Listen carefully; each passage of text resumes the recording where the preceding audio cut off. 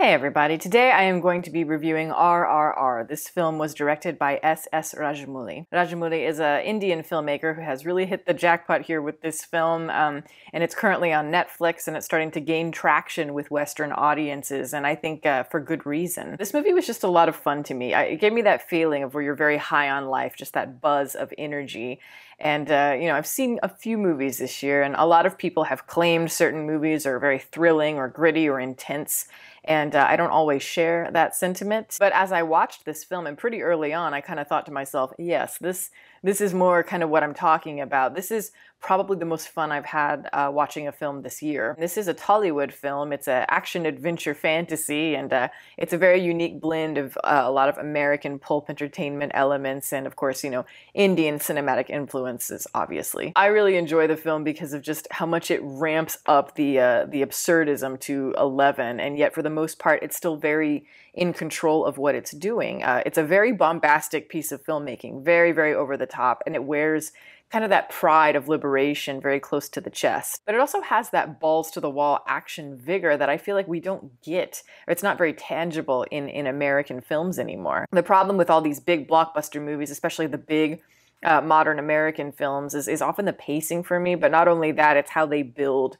their, their big sequences. You know, typically if you're going to have a big battle sequence or, or, you know, a climactic sequence of some sort, you really need to orient the audience in the world, in the situation. Like if there's a party sequence and there's going to be a bomb that goes off in the middle of it, well, we need to know which characters are important to the situation. We need to know what they're doing, how they're constantly moving up until the bomb goes off. We need to know where the exits are. All of these things are very important. You need to implement implement them, I think, in a way that is seamless and doesn't draw too much attention to itself. Not only does it give us clarity and just cohesion of, you know, what's going on in the scene, but it also it emotionally invests us in the scene. It keeps us rooted in everything in a way where we are part of the experience. And it just feels like this movie did it pretty well. And the story is just very high stakes consistently throughout. So it keeps you very much on your toes. And whether it's a set piece that involves like an escape or it's a, a dance sequence, a riot maybe, or um, like a, a fight sequence. All of it is very rooted in the emotion and always it's very clear. And today it just feels like there's a lot of monotony in movies where we're placed just right in the middle of a tsunami and we have no idea which way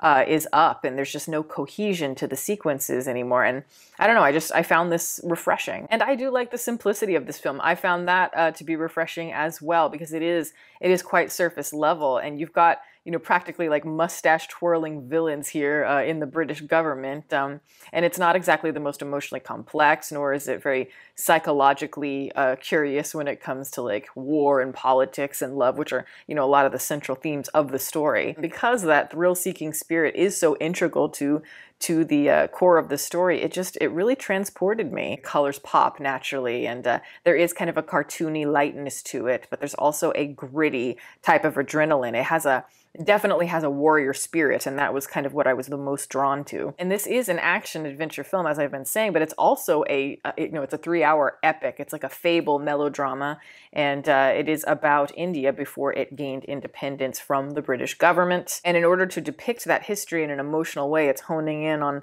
on something specific. So you have very intimate situations here going on uh, within all of that. That's going to connect the audience to it. And I love that we have a, a great friendship here, or as they say, a bromance uh, at the center of it, rather than a uh, a romance. That's more the natural inclination, I think. And I, I don't know, it's very, very refreshing to me because I feel like we don't see a lot of that very much. We don't see friendships glorified on screen the way we do romance. And the characters are so likable. It's the loyalty that they have and, and the gusto with which they, they throw themselves into all kinds of different situations and the genuine love that they have for each other with no shame. Um, it's just very sweet. It's very genuine. Because of that, this film, even though it's three hours long, it doesn't feel uh, that long to me. And weaknesses that would normally be very grating to me, uh, I can kind of forgive them here. I just love the very bold stance it has. It's like a karate stance where it is staring the audience directly in the eyes uh, from the very beginning, and it's it's unrelenting in that, and you get a sense that it's going to be a very high octane experience. It's like I don't know, Mad Max mixed with Inglourious Basterds mixed with like uh, Busby Berkeley film, and of course all of that wrapped up in the Eastern point of view. And because it is very extroverted and, and very pointed, uh, it can be flexible in that you know, it's got a lot of jarring tonal shifts, or it could seem very jarring in maybe a different type of film. It feels very believable. So when you have a guy charging towards a bunch of British people with a ton of zoo animals behind him, you don't scoff at it, you don't roll your eyes, you you grin, or at least at least I did. Yes, it's all completely ridiculous and all of it is very removed from reality, but the motivations behind it, the emotion behind it is perfectly relatable, I think, to, to most humans. One of my favorite scenes in the film is the big party sequence, kind of in the middle of the film. I just think it moves absolutely beautifully and it has the same kind of vigor and a spastic kind of energy that I I remember from like a great MGM musical from the 1950s. But it's also so aggressive that it feels almost like a fight scene, another fight scene that you might see in the actual film there. So again, it has that cohesion, and yet it has that that energy that reminds me of like the, the barnyard dance in Seven Brides for Seven Brothers. But they're all very intertwined, as I said. The violence and the dancing both have a very vigorous kind of energy to it. And even like the singing compared to the physicality, they both have a very similar type of passion behind it. So that's where you can kind of create very abstract cinematic moments that uh, that really gel together. So when something might be a little bit too brutal if it were a realistic situation or something really devastating.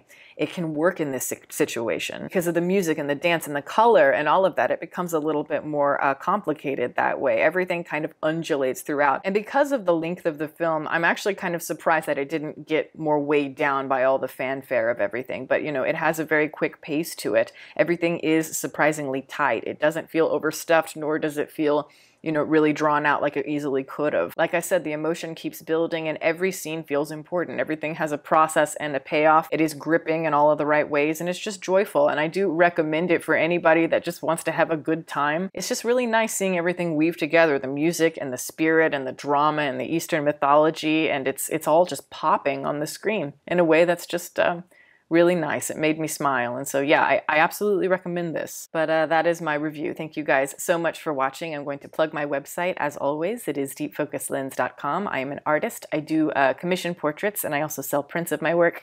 If that is something that you guys are interested in, you can always go to the website below. And if you have a question about a commission or a print, you can always email me. My email is in the description box below as well.